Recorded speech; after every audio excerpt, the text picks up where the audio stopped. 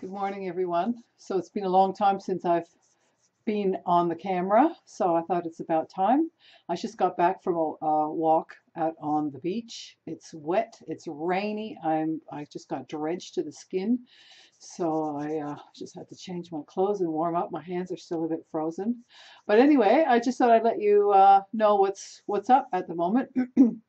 so Monday night we were able to do our our workshop and uh, that went really well. Then, of course, we heard that Monday night, midnight, we went into stage four lockdown, whatever that means.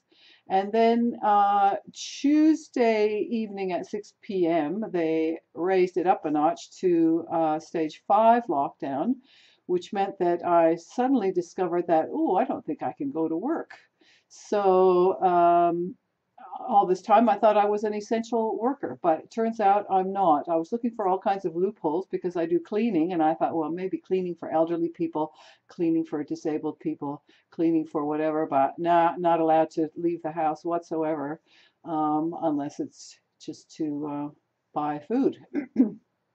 so anyway, now that I've got a bit of time on my hands, this is what I've been up to. I printed off these these uh, acupuncture documents and laminated them.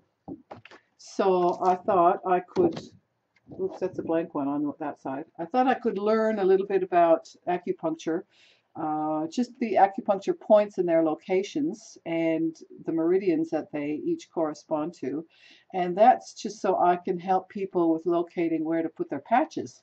So um, I love the names of these. I, I know absolutely nothing about acupuncture. I have had multiple treatments with, with the use of acupuncture, but um, I've, I've never really paid attention to the, to the points. So now I'm going to learn some of these, and um, I'm finding it incredibly fascinating because I didn't know that a lot of them had some really amazing names, like drilling bamboo, eye, eyes bright, four whites, uh, welcoming perfume, facial beauty, middle of a person. Uh, there's another drilling bamboo, eyes bright, shoulder well, letting go, um, heaven rushing out. What could that mean? Elegant mansion, breast window, heavenly pond, so that's P1, CV17 is Sea of Tranquility. Uh, center of Power is CV12. P3 is Crooked Marsh. And SP16 is Abdominal Sorrow. So I'm finding this totally awesome. If anybody wants to see these or to have a copy, I'm happy to um, share them.